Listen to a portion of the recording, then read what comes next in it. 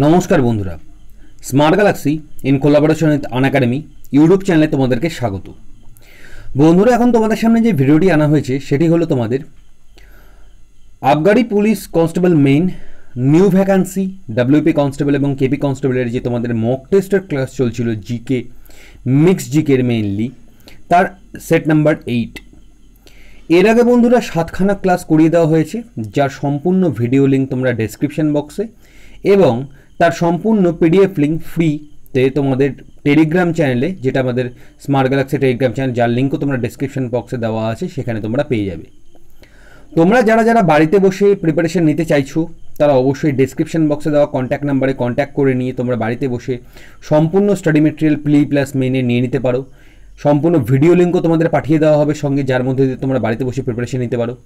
এছাড়া সম্পূর্ণ ইবুক ফাইলও তোমরা নিতে পারো, যার জন্য তোমাদের সমস্ত ইবুক ফাইলের লিঙ্ক ডেসক্রিপশন বক্সে দেওয়া আছে। এবং তোমরা যারা যারা আমাদের ইনস্টিটিউশন বেসড প্রিপারেশন নিতে চাইছো বালুঘাট দক্ষিণ দিনাজপুর মেইন ব্রাঞ্চ এবং সাব ব্রাঞ্চ তোমাদের পুরুলিয়া এবং বর্ধমানে যেখানে রয়েছে, তোমরা সেখান থেকেও কিন্তু ইনস্টিটিউশনাল প্রিপারেশন নিতে পারো, যেটার জন্য তোমাদেরকে ডেসক্রিপশন বক্সে কন্ট্যাক্ট নাম্বারে কন্ট্যাক্ট করতে হবে। তো বন্ধুরা, আজকে যেটা শুরু করতে চলেছি যে সেট নাম্বার এইটের যে প্রথম প্রশ্নটি দিয়ে, সেটি হলো, তোমরা আগে নিজেরা চেষ্টা করবে, তারপরে কিন্তু অবশ্যই উত্তরটা দেখবে এবং আমি প্রত্যেকটা কোশ্চেনের ওপরে কিন্তু এলাবোরেশন আমি অবশ্যই করে দেব। তো তোমাদের যে প্রথম প্রশ্নটি আছে, সেটি হলো, প্রাচীন প্রস্তর যুগে মানুষের সবথেকে বড় আবিষ্কার কী ছিল? তো বন্ধুরা, বলে দিই, এর যে অপশনগুলো আছে, সেটা হলো হরপ্পা, লোথাল, কালীবঙ্গান নামরি তো এখানে যে অপশনগুলো আছে অ্যাকর্ডিং টু দিস অপশন তো তোমাদের যে সঠিক উত্তরটা হবে সেটা হলো তোমাদের হরপ্পা সভ্যতা। হরপ্পা সভ্যতা এবং মহেঞ্জোদারো সভ্যতা কিন্তু দুটোই কিন্তু সমসাময়িক। এই হরপ্পা সভ্যতা আবিষ্কৃত হয়েছিল উনিশশো একুশ সালে এবং পাশাপাশি মহেঞ্জোদারো কিন্তু আবিষ্কৃত হয়েছিল উনিশশো বাইশ সালে। এই হরপ্পা সভ্যতার আবিষ্কারের নাম হলো দয়ারাম সাহানি এবং মহেঞ্জোদারো যে সভ্যতা সেটা কিন্তু আবিষ্কারক ছিলেন রাখাল দাস বন্দ্যোপাধ্যায়, যেগুলো কিন্তু তোমাদের পরীক্ষার জন্য অত্যন্তই গুরুত্বপূর্ণ। তো এছাড়াও তোমাদের লোথালে যে বন্দরের আবিষ্কার হয়েছিল, সেটাও খুব গুরুত্বপূর্ণ। কালীবঙ্গানের নাঙ্গলের চাষ দেখতে পাওয়া যায়, ধানের চাষ। সেগুলো কিন্তু তোমাদেরকে অবশ্যই মাথায় রাখতে হবে, যার সম্পূর্ণ ডেসক্রিপটিভ ওয়েতে কিন্তু ডিটেলসে তোমাদের স্টাডি মেটেরিয়ালসগুলোর মধ্যে দেওয়া আছে।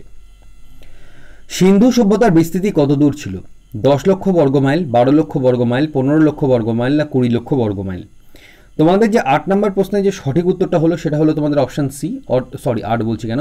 দুই নম্বর প্রশ্নের সঠিক উত্তর হলো অপশান সি অর্থাৎ ষোল, পনেরো লক্ষ তোমাদের বর্গমাইল হচ্ছে, তোমাদের সিন্ধু সভ্যতার বিস্তৃতি কিন্তু আমরা দেখতে পাই। ঠিক আছে বন্ধুরা?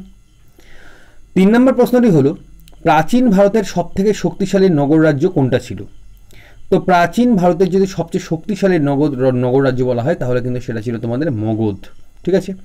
তোমাদের যে ষোলোখানা অঙ্গরাজ্য বা তোমাদের যে যেগুলো ছিল অঙ্গমগধ কুশলকাশী কুড়িমল, বংশোচ্ছেদ এই যে টোটাল ষোলোখানা ছিল, অঙ্গরাজ্যগুলোর মধ্যে সবচেয়ে শক্তিশালী ছিল তোমাদের মগধ। অর্থাৎ অপশন ডি হলো তোমাদের এখানে সঠিক উত্তর। বিখ্যাত ব্যাকরণবিদ পানিনি কোন মহাজন পদের লোক ছিলেন? ঠিক আছে বন্ধুরা? তো এর যে অপশানগুলো হলো তোমাদের গান্ধার, কম্বোজ, কাশি না অবন্তী। তো তোমাদের চার নম্বর প্রশ্নের যে সঠিক উত্তরটি হলো, সেটা হলো তোমাদের অপশন এ অর্থাৎ গান্ধার। গান্ধার কিন্তু কুষাণ বংশের জন্য ফেমাস ছিল এবং এই গান্ধারের যে শিল্পকলা সেটা কিন্তু ভারতের ইতিহাসে কিন্তু খুবই গুরুত্বপূর্ণ এবং খুবই কিন্তু ঐতিহ্য একটি বহন করে থাকে। ঠিক আছে?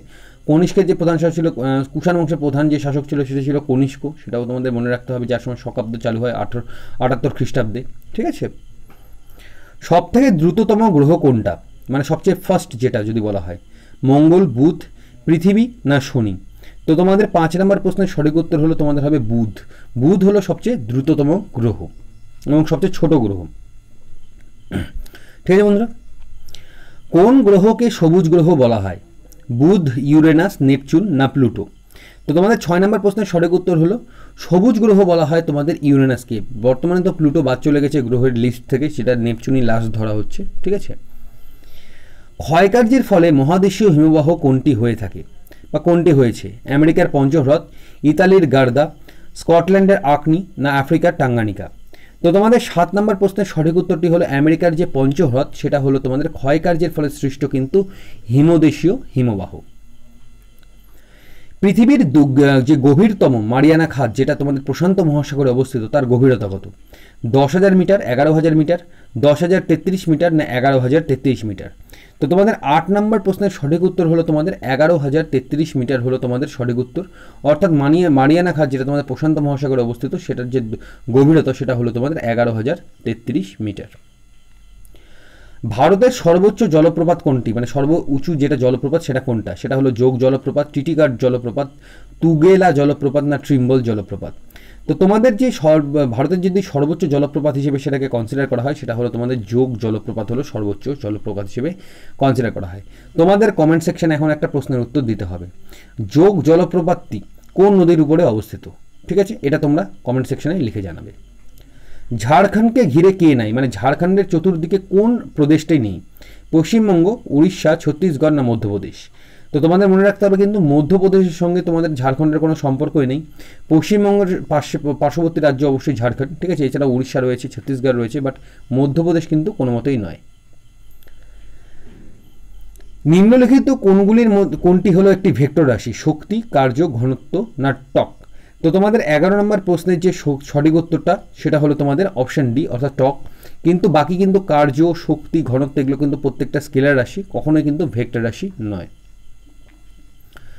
ব্যারোমিটার পাঠের হঠাৎ যদি হ্রাস হয় মানে নিচে হঠাৎ করে নেমে যায়, তাহলে কি হতে পারে? শিলাবৃষ্টি, প্রচুর বৃষ্টিপাত, ঝড় না পরিষ্কার আবহাওয়া? এটার সাইনই হলো ঝড়ের। যদি ঝড় মানে আসার কোনো রকম কোনো সম্ভাবনা দেখতে পাওয়া যায়, তাহলে কিন্তু তোমাদের ব্যারোমিটারের যে পাতটা, সেটা কিন্তু হঠাৎ করে নিচে নেমে যাবে। ওকে? পরবর্তী তোমাদের যে প্রশ্নটি ছিল সেটা হলো দেখো, মাইক্রোওয়েভ ব্যবহার করে দূরত্ব পরিমাপক, পরিমাপের যে যন্ত্র, তার নাম কি? টেনসিওমিটার, টেনসিমিটার, টেলুরোমিটার না থার্মোস্কোপ? তো তোমাদের তেরো নম্বর প্রশ্নের যে সঠিক উত্তরটি, সেটা হলো টেলুরোমিটার। মাইক্রোওয়েভ ব্যবহার করে যদি করে দূরত্ব যে পরিমাপ করা হয়, সেই যন্ত্রের নাম হলো টেলুরোমিটার এসআই পদ্ধতিতে লুমেন কার লব্ধ একক? সরল কোণ, ঘন কোণ, দীপ্তি না প্রজ্জ্বল প্রবাহের? ঠিক আছে বন্ধুরা? তো তোমাদের এসআই পদ্ধতিতে লু লুমেন হলো প্রজ্জ্বল প্রবাহের কিন্তু মানে কার যদি বলা হয়, তাহলে প্রজ্জ্বল প্রবাহের কিন্তু লব্ধ একক হলো তোমাদের লুমেন। ঠিক আছে? এখানে অপশনটা খুবই কাছাকাছি আছে, এখানে দীপ্তিটাও যদি এখানে প্রজ্বল প্রভাব না থাকতো, দীপ্তিটাও যদি ক্যান্ডেলা না হয় এটাও হতে পারতো। যাই হোক, এখানে সঠিক উত্তর প্রজ্জ্বল প্রবাহই এখানে হবে, ঠিক আছে? যাই হোক নেক্সট কোশ্চেন বন্ধুরা। ফারেনহাইট স্কেলে পরম শূন্য উষ্ণতার মান কত? Zero degree centigrade minus four five nine point five degree centigrade zero point zero Fahrenheit hundred Fahrenheit তো তোমাদের পনেরো নম্বর প্রশ্নের সঠিক উত্তর হলো minus four ninety, four fifty nine point five degree তোমাদের হলো তোমাদের কিন্তু পরম শূন্য উষ্ণতার তোমাদের মান। ঠিক আছে? তো অপশন বি হলো তোমাদের এখানে সঠিক উত্তর। ওকে নেক্সট কোশ্চেন দেখো। কে সাঁতার, কে সহজে সাঁতার শিখবে? একজন মোটা লোক নাকি একজন তোমাদের রোগা লোক? এটা একটা কমন সেন্সেরই ব্যাপার। মানে মোটা লোক, রোগা লোক না দুজনই না সময়ের উপরে নির্ভর করবে। দেখো বন্ধুরা, এটা একটি ক্রিটিক্যাল কোশ্চিন ঠিক আছে? অ্যাকর্ডিং টু দিস কোশ্চিন যদি বলা হয়, তাহলে এবার তোমরা অনেকেই ভাববে যে রোগা লোকই তো জেনারেলি সাঁতার আগে শেখার কথা। কিন্তু একটা মজার বিষয় হলো একটা মোটা লোকই কিন্তু আগে বেশি সাঁতার শিখবে। কারণ সে ভাসবে খুব তাড়াতাড়ি এবং সে কিন্তু খুব স্ট্রংলি সেটা ইয়ে করতে পারবে। এটা আমি বিশদভাবে খুব এলাবোরেট করতে যাচ্ছি না but according to this question কিন্তু অপশন এ হবে এটার সঠিক উত্তর। ঠিক আছে? যদিও বা এটা একটা ডিবেটেবল কোশ্চিন ঠিক আছে? কোষের ব্যাটারি কোনটি? এডিপি এটিপি এএমপি না কোনোটিই নয়? তো তোমাদের সঠিক উত্তর যেটা হবে সেটা হলো এটিপি অর্থাৎ অপশান বি হলো তোমাদের এখানে সঠিক উত্তর। এটিপির ফুল ফর্ম তোমরা কিন্তু অবশ্যই কমেন্ট সেকশনে জানা লিখতে ভুলবে না। দেহ পরিশোষক খাদ্যের একটি উদাহরণ দাও। প্রোটিন, জল, খনিজ লবণ না ভিটামিন? তো তোমাদের আঠারো নম্বর প্রশ্নের যে সঠিক উত্তর হলো তোমাদের অপশান এ অর্থাৎ দেহ পরিশোষক একটা যদি খাদ্যের উদাহরণ দিতে বলা হয়, তাহলে সেটা হবে তোমাদের অবশ্যই প্রোটিন অর্থাৎ অপশান এই হলো তোমাদের এখানে সঠিক উত্তর। একটি বায়বীয় মূলের মূল উদ্ভিদের উদাহরণ দাও। একটি বায়বীয় মূল উদ্ভিদের উদাহরণের মধ্যে হলো তোমাদের গাজর, আখ, ওলকপি, না মিষ্টি আলু পড়ছে। তো তোমাদের উনিশ নম্বর প্রশ্নের সঠিক উত্তর হলো আখ। একটি বায়বীয় যদি মূল উদ্ভিদের উদাহরণ দেওয়া হয়, তাহলে তোমাদের এখানে হবে অপশন বি অর্থাৎ আখ। মস্তিষ্কের ভেট্রিকল এর সংখ্যা কয়টি? তিনটি, চারটি, পাঁচটি না ছয়টি? তো তোমাদের এই যে সঠিক উত্তর হলো অপশন বি, অর্থাৎ চারটি হলো আমাদের মস্তিষ্কের ভেট্রিকলের টোটাল সংখ্যা। রেটিনা ও অপটিক, অপটিকা স্নায়ুস্থলকে কি বলা হয়? অন্ধবিন্দু, পিদিবিন্দু, স্নায়ুবিন্দু না চক্ষুবিন্দু? তোমরা এটা আশা করি প্রত্যেকেই জানো, রেটিনা এবং অপটিকা স্নায়ুর মাঝখানে যে পোর্শনটা থাকে সেটাতে আমরা কিছুই দেখতে পাই না। ঠিক আছে? যে, সেই জন্য এই স্থানটাকে তোমাদের অন্ধবিন্দু বলা হয়। আমাদের যে রিফ্লেকশন হয় না চোখের মধ্যে, যেটা আমরা ক্যামেরার মতো কাজ করে, সেটা কিন্তু আমাদের রেটিনা ঠিক আছে? সেটা বারবার মনে রাখবে। যার জন্য আমরা কোনো জিনিসের প্রতিবিম্বকে দেখতে মানে কোনো চোখের মধ্যে ক্যামেরার মতো কাজ করে, সেই জন্য আমরা সামনের জিনিসকে দেখতে পাই ওকে চোখের জলের জীবাণুনাশক হিসেবে কি উপস্থিত থাকে? ব্যাসিলার, লাইসোজোম, পেরিলিম্ফ না করোনিয়া? তো তোমাদের যে বাইশ নম্বর প্রশ্নটি আছে, এই বাইশ নম্বর প্রশ্নের যে সঠিক উত্তরটি হলো, সেটা হলো তোমাদের লাইসোজোম। অর্থাৎ যদি চোখের জলে জীবাণুনাশক হিসেবে যেটা উপস্থিত থাকে সেটা হলো লাইসোজোম, অর্থাৎ অপশান বি হলো তোমাদের এখানে সঠিক উত্তর। উনিশশো চুরানব্বই খ্রিস্টাব্দে জি সি, সিবর্স কোন মৌলটি আবিষ্কার করেছিলেন? জি সিবর্স কোন মৌল আবিষ্কার করেছিলেন? ক্লোরিন, কোবাল্ট, ব্রোমিন না বেরিলিয়াম? তো তোমাদের তেইশ নম্বর প্রশ্নের যে সঠিক উত্তর হলো সেটা হলো তোমাদের অপশন ডি, অর্থাৎ বেরিলিয়াম।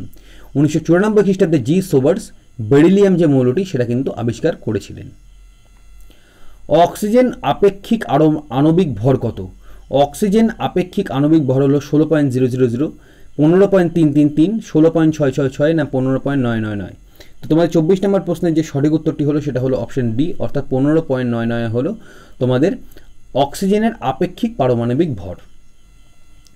অ্যাসিডিক অ্যাসিড কোথা থেকে পাওয়া যায়? প্রোটিন সমূহ ভিটামিন সি, ভিনেগার না দুধ থেকে? খুবই ইজি কোশ্চিন এবং এটার তোমাদের অ্যাসিডিক অ্যাসিডের অপর নামও যদি বলা হয়, সেটাকে ভিনেগার বলা হয়, ঠিক আছে? তো এর সঠিক উত্তর হবে অপশান সি, অর্থাৎ ভিনেগারে কিন্তু উপস্থিত দেখতে পাওয়া যায়। রিজার্ভ ব্যাংকের প্রধান কার্যালয় কোথায় অবস্থিত? দিল্লি কানপুর, মুম্বাই না নাসিক? তো বন্ধুরা, এর যে সঠিক উত্তরটি হবে, সেটা হলো অপশান সি, অর্থাৎ মুম্বাইয়ে অবস্থিত। রিজার্ভ ব্যাঙ্ক অফ ইন্ডিয়া আমাদের মুম্বাই অবস্থিত, যেটা আমাদের সমস্ত যে কারেন্সির বিষয়গুলো সম্পূর্ণটা নিয়ন্ত্রণ করে। এর প্রথম যে গভর্নর ছিল সেটা ছিল অসবন স্মিথ এবং ভারতের যদি বলা সেটা সিরি দেশমুখ উনিশশো পঁয়ত্রিশ সালে রিজার্ভ ব্যাঙ্ক প্রতিষ্ঠিত হয়েছিল এবং উনিশশো উনপঞ্চাশ সালে কিন্তু এটা জাতীয়করণ হয়েছিল। ঠিক আছে? তো এই হলো টোটাল যে প্রশ্নগুলো মানে এখান থেকে যে ইম্পর্টেন্ট তথ্যগুলো যেগুলো তোমাদের উঠে আসতে পারে। স্বাস্থ্য বিমার ব্যবসা নিচের কোনটির সঙ্গে যুক্ত? এলআইসি ইউটিআই জিআইসি না এসটিসি তো সাতাশ নম্বরের প্রশ্নের এটা যে সঠিক উত্তর, এটা তোমরা আশা করি প্রত্যেকেই জানো যে জিআইসি যেটা আছে সেটা কিন্তু স্বাস্থ্য বিমা ব্যবস্থার সঙ্গে সম্পূর্ণরূপে যুক্ত। অনেকে এলআইসি মনে করবে এলআইসি নয় জিআইসি হলো তোমাদের কিন্তু স্বাস্থ্য বিমার সঙ্গে সম্পূর্ণরূপে যুক্ত। কোথায় এখনও আঞ্চলিক গ্রামীণ ব্যাংক প্রতিষ্ঠিত হয়নি? সিকিম, গোয়াতে, বিহার ও রাজস্থানে, সিকিম এবং অরুণাচল প্রদেশে না নাগাল্যান্ডে? তো তোমাদের যে আঠাশ নম্বর প্রশ্নের সঠিক উত্তর হলো সিকিম এবং গোয়াতে কিন্তু এখনও অবধি আরআরবি কিন্তু এখনও প্রতিষ্ঠিত হয়নি। যে রিজনাল রুরাল ব্যাংক সেটা কিন্তু এখনও প্রতিষ্ঠিত হয়ে ওঠেনি। আর্থিক কমিশন কত বছর অন্তর বসে? প্রত্যেক বছরে দু, প্রত্যেক বছর দু মানে দু বছর অন্তর, এক একবার, চার বছরে একবার না পাঁচ বছরে একবার? তো তোমাদের উনত্রিশ নম্বর প্রশ্নের সঠিক উত্তর হলো আর্থিক কমিশন কিন্তু পাঁচ বছরে একবার বসে মানে পাঁচ বছর অন্তর একবার করে কিন্তু বসে বসে থাকে। ঠিক আছে বন্ধুরা? তোমাদের আজকে যে শেষ প্রশ্নটি সেটি হলো যে কোনো দেশের অর্থনৈতিক পরিমাপের মাপকাঠি কোনটি? জিএনপি জিডিপি নন রেভিনিউ না কোনোটিই নয়। তো তোমাদের যে তিরিশ নম্বর প্রশ্নের যে সঠিক উত্তরটি হলো সেটা হলো জি জিএনপি ঠিক আছে? Gross gross national product domestic product না ন্যাশনাল প্রোডাক্ট যেটা, সেটা কিন্তু অর্থনৈতিক মাপকাঠি হয়ে দাঁড়ায়, ঠিক আছে? তো আশা করি তোমাদের যতগুলো এখানে প্রশ্ন আমি আজকে তুলে ধরলাম, তার মধ্যে অ্যাটলিস্ট তোমরা তিরিশটার মধ্যে কুড়িটার তোমরা সঠিক উত্তর দিতে পেরেছ। যদি কুড়িটা প্রশ্নেরও তোমরা যদি সঠিক উত্তর দিয়ে থাকো, তাহলে মনে করবে তোমাদের কিন্তু প্রিপারেশন লেভেলটা যথেষ্টই হাই রয়েছে। এবং এই প্রিপারেশন লেভেলটাকে তোমরা মেনটেন করে যাবে, তাহলে কিন্তু সঠিকভাবে এগোবে। যদি মনে করে থাকো যে না, সেটা হচ্ছে না, তাহলে তোমাদের যেটা বলেছি আমি বারবার, আগে স্টাডি মেটেরিয়ালটা নাও, বাড়িতে বসে সেটা কমপ্লিট করো কমপ্লিট করে মক টেস্ট দাও, দেখবে তোমরা সবই পারবে। উইদাউট বেসিক প্রিপারেশন মক টেস্টে ডিরেক্টলি আসলে কিন্তু সব কিছু পারবে না। তার জন্য তোমাদের মক সম্পূর্ণ স্টাডি মেটেরিয়াল কিন্তু যাতে করে তোমরা পশ্চিমবঙ্গের যে কোনো ডিস্ট্রিক্ট থেকে যেখান থেকেই বিলং করো, যাতে করে সবাই পেয়ে যাও, সেই ব্যবস্থা করা হয়েছে। ঠিক আছে? তো বন্ধুরা, আজকের মতো এতটাই। পরবর্তী ভিডিও নিয়ে তোমাদের সঙ্গে কালকে পুনরায় একই সময় দেখা হবে। ভালো লাগলে তোমরা অবশ্যই বন্ধুদের মধ্যে ভিডিওটি শেয়ার করো এবং তোমরা কিন্তু চ্যানেলে নতুন আসলে চ্যানেলটি সাবস্ক্রাইব করে নিয়ে নোটিফিকেশন বেলটি অন রাখতে ভুলবে না। তো বন্ধুরা, আজকের মতো এতটাই। নমস্কার।